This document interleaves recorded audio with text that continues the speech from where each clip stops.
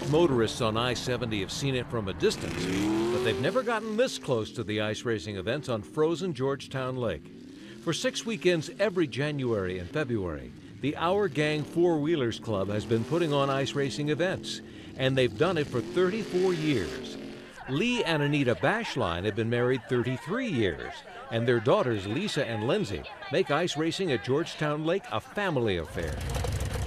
In fact, their friends liken them to a 1950s TV show family. We're the Cleavers still, so How do you feel about being a cleaver?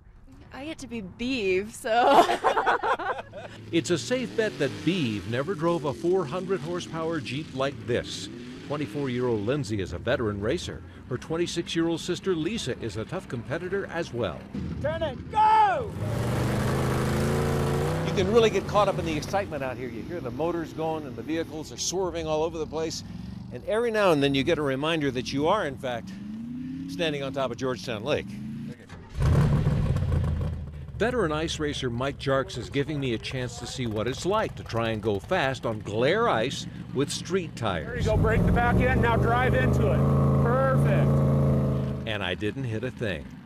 There are a variety of vehicles that come out for ice racing, everything from pickup trucks to station wagons and SUVs. And of course, those competition cheater Jeeps.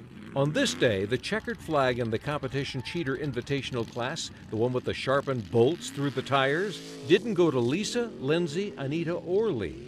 But the memories of another season of ice racing with family and friends will last forever. Come on, baby, you're beautiful.